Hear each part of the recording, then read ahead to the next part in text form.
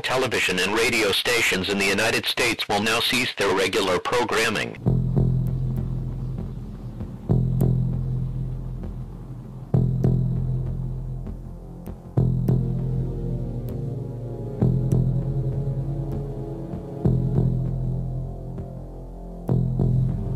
As we already established in the Daniel 11 hypothesis, there are three different kings of the South, beginning with the United Kingdom and by extension the British Commonwealth in the First World War, Germany in the Second World War, and from 1945 to the woe of the fifth trumpet, the United States. So first Ephraim, then Judah, then Manasseh, and at the woe of the fifth trumpet, all three form the lion of Daniel chapter 7 and Revelation 13. The king of the north was first Tsarist Russia and at the end of the First World War, they became the Soviet Union, the second king of the North, which then became the Russian Federation, the third king of the North. But at the woe of the fifth trumpet, Russia, along with the nations listed in Ezekiel 38, will form the bear of Daniel chapter 7 in Revelation 13, the fourth and final king of the North in the global political system that doesn't emerge until Satan and his angels, Daniel's fourth beast, the supernatural, are cast to earth, which is also in the he goat that you can read of in Daniel chapter 8, which symbolizes the Kenites and their four hidden dynasties, becomes the leopard of Daniel chapter 7 in Revelation 13. So, with that in mind, let's go to Daniel chapter 11, verses 13 and 14, and see if these verses match what we see going on in the world today. And the Daniel 11 hypothesis you'll find in PDF form at biblicalresearchlabs.com. For the king of the north shall return, the Russian Federation, that is to say, we're on verse 13. 13 of Daniel chapter 11, and shall set forth a multitude greater than the former. Look into the history between Syria and the Soviet Union if you want to delve further into this, and shall certainly come after certain years with a great army and with much riches. Not only did the Russian military enter into Syria in 2015 on September 30th, but since that time they formed a trilateral mechanism with Iran and Turkey, building toward the confederacy written of in Ezekiel 38. Persia is Iran and Turkey is most likely Gomer, but the invasion written of in Ezekiel 38 and 39 won't happen until the end of the hour of temptation. And that's when those hailstones from God come raining down upon them. And you can also read of that in the seventh vial, which is when the true Christ returns, which lets you know beyond any shadow of a doubt the time frame of that event. And in those times, these times we are now in, in my opinion, shall many stand up against the King of the South, the United States, at this time being hated more than ever, with most of the United Nations standing against the decision of the United States to recognize Jerusalem as the capital of Kenite occupied Israel, the UN being the great horn of the he goat in Daniel chapter 8, verse 8, in my opinion, as well as the one who sends a raiser of taxes in Daniel chapter 11, verse 20, the global carbon tax of the Paris Climate Agreement being accomplished through the United Nations, but the United States pulled out of the Paris Agreement as well as UNESCO and the Human Rights Council here more recently. So the breaking of the Great Horn of the He Goat, which in my opinion is the UN, may very well be underway. This same exact strategy you'll find mapped out on the last page of the Grand Chessboard by Zbigniew Brzezinski. The strategy to create a new world order upon the skeletal structure laid out by the UN. Not only perpetuating America's own dominant position, but at the same time creating a geopolitical framework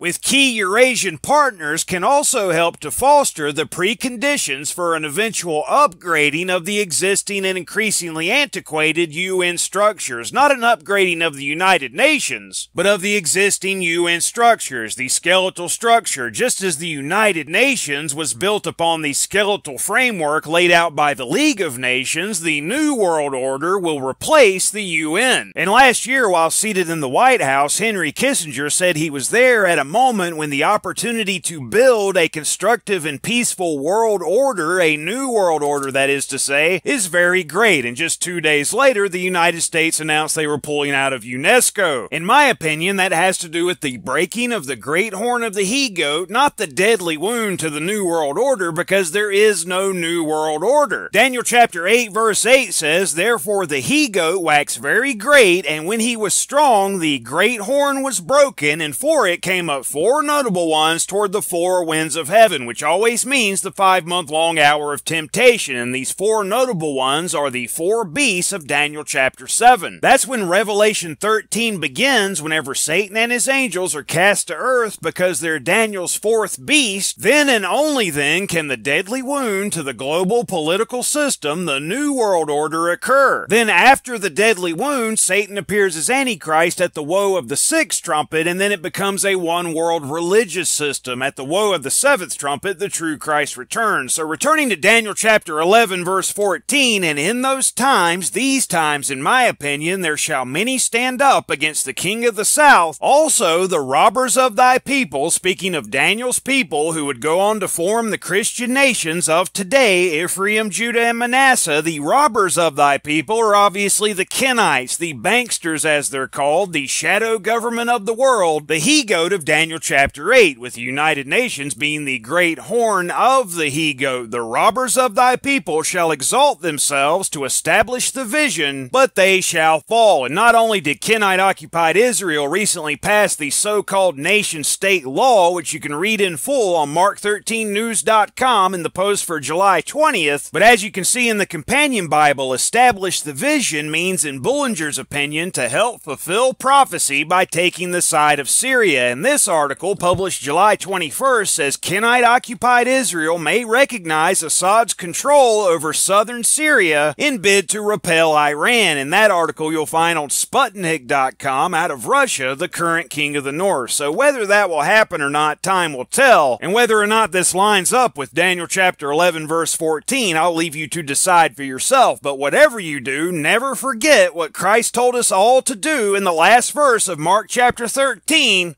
Watch.